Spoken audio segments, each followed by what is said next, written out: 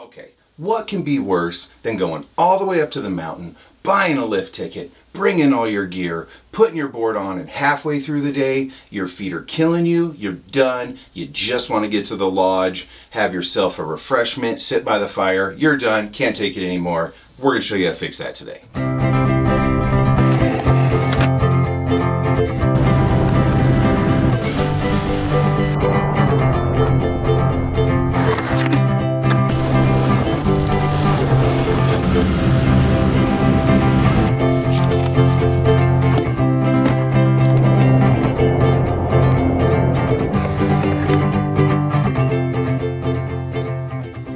Up everyone? Welcome to the first episode of A Dude A Dad Garage. It's going to be a different series of videos where we keep all of our rides tip-top shape, whether it be a jet ski or a dirt bike or keeping a snowboard or skateboard built right. You'll see a bunch of different things in this. Uh, try to help you guys keep your ride set up right. This series of videos had importance because we've been bringing people up to the mountain or out on the water for the first time or even skateboarding and, and you bring kids or, or new first timers out to do something and uh, it's difficult to watch them suffer right? Whether their gear's making it uncomfortable or the, the weather they're not warm enough they're not cool enough whatever it is shivering in the water cold on the mountain too hot on the mountain uh, all these different things. So uh, notice that over the years we're constantly giving people advice and helping them you know hey you, may, you might want to think about this you know uh, maybe try the bibs, get rid of that pant and belt thing if you keep getting snow packed in your clothes.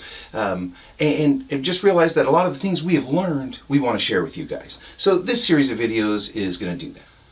One of the best ways to make sure that you have a good day on the mountain and that you can stay the whole day on the mountain and get your money's worth from that lift ticket you bought is to make sure your boots are right. You know, uh, I've had people out there on the mountain with us and they're in rental boots, and of course, you know, those are going to be uncomfortable. Uh, they're rentals, everyone's worn them, they're not fit to you.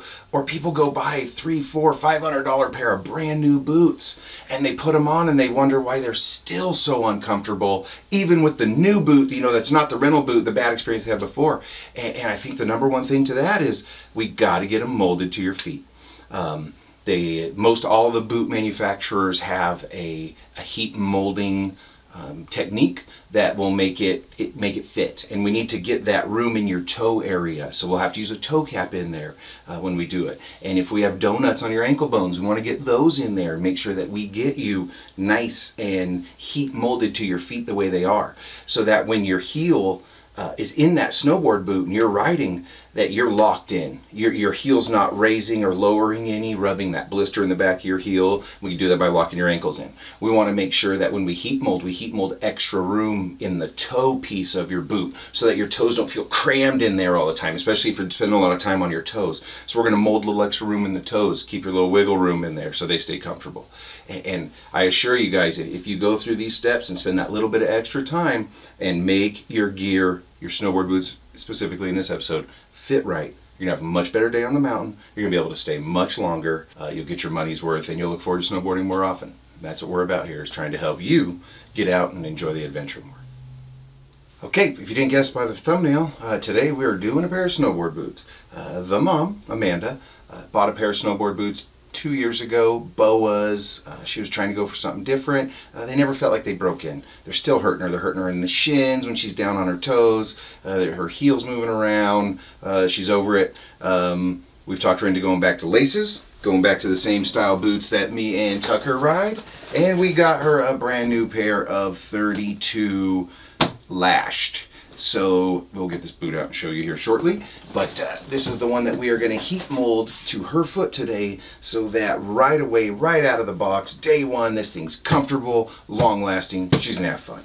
So the things that we are going to use today to mold these to her foot, nice and easy, at home, things you have, don't need to buy any expensive warmers or anything like that. Uh, we're going to need two pairs of old socks.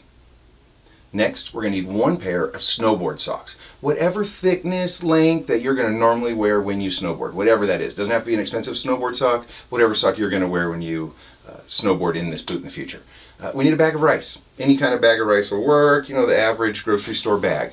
Uh, you're going to use a microwave for this. And we're going to need a 2x4 or a brick, anything about an inch and a half, two inches high, about eight inches wide, something for you to put your foot on. All right, so we got our stuff assembled let's get to it.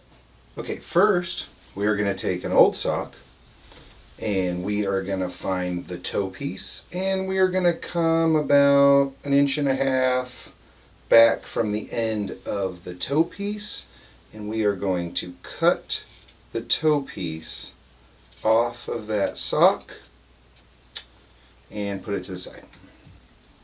Next, we're going to take our rice and another old sock and we are going to fill the inside of this sock with this rice. And I think I'm going to go with that. So I'm going to put that aside for now. All right, guys, now we got the boot out. Looks good. 32 lashed, fresh boot for the mom. We are going to go ahead and get this thing all loosened up so we can get the inner liner out. We're going to end up breaking this boot down to its three parts. We're going to end up having the outer, the inner liner, and we're going to make sure you get the footbed out of the inner liner. Boots outer,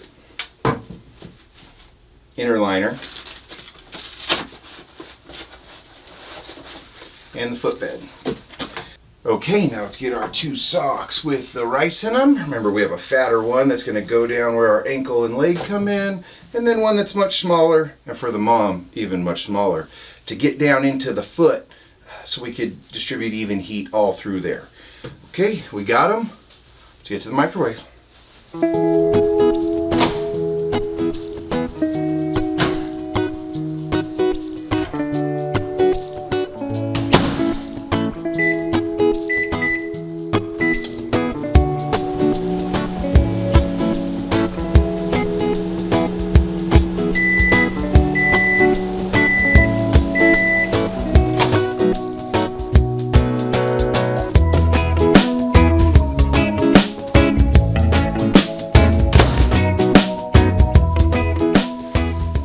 Okay, we are back from the microwave with two hot socks full of rice. Uh, we're going to leave our outer to the side, but we are going to get into our inner liner first. And we're going to take the smaller sock, we're going to get it down in there real, real far. Ooh, it's hot. Be careful. All right, so we got that one in there. I'm going to close this liner up with just the foot one in. Put this back in the outer get that foot down there where it's supposed to be. Remember, foot bed stays out during this part. Let me get the other one. This is the fatter one. This is the one that's to be your leg. Get it down in there.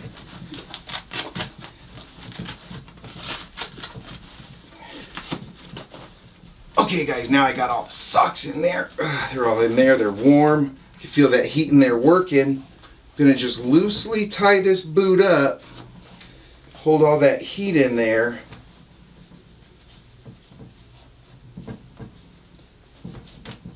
Okay, we're going to let that thing sit, marinate, let all that heat soak into all the areas for 10 minutes. We'll be back after that. All right, where we let those boots heat up inside, let's get the toe cap on mom's foot. This is the toe cap that we cut off earlier in the video. Give her the extra space. And we're going to cover that with a normal snowboard sock. Whatever sock you would normally snowboard in, use that, put it on over. What this is going to do is we're going to mold her toe area with more space in it. And then when she rides normally with only her snowboard sock and maybe a normal sock under it, uh, it there's going to be extra room. So her toes will never feel crammed and uh, she'll stay comfortable. All right, we're back to check on this boot after it sat for its 10 minutes. Let's see what we got.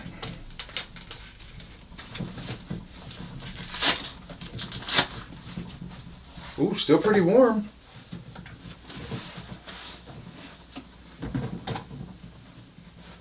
Okay, at this point, we're going to put the footbed back in.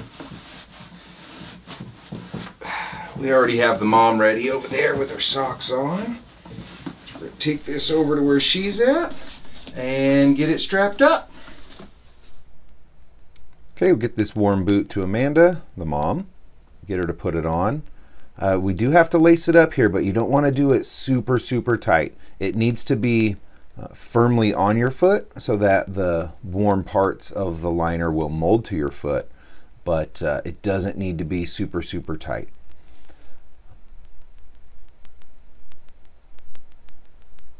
And once you got the boot on and uh, you're ready to form it, we're going to get a 2x4, something that's an inch and a half tall or so, um, to stand on. Try to our, put our toe on it like we would while we were snowboarding. We're kind of molding the ankle and all the spaces uh, inside the boot to all the different angles. So for the next 20 or 30 minutes, just keep it on, um, try different angles, and uh, wear the boot in proper. Okay guys, that's it. We got one formed up, fitting right. Copy the process for the other one, uh, and you will have a styling pair. I hope this technique worked for you. If it did, please let us know in the comments. If it didn't, let us know that too. That's what we're about here on this channel. We're about making everything better. We want to help you guys. We want to motivate you guys. Get out there in nature. Get out there with the people that you want to be with and enjoy it. Sometimes we're going to try to motivate you by showing you beautiful places that we get to and beautiful mountains and waves and skate parks that we get to ride.